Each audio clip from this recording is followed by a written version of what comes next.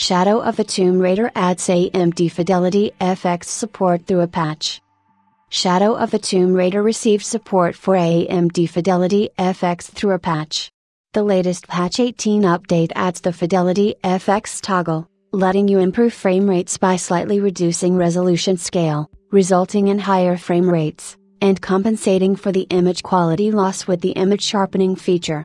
NVIDIA GeForce users still have the option to use the image sharpening toggle in NVIDIA control panel introduced with GeForce R440 drivers. The patch also removes the restriction on character outfits when exploring the hidden city location in game.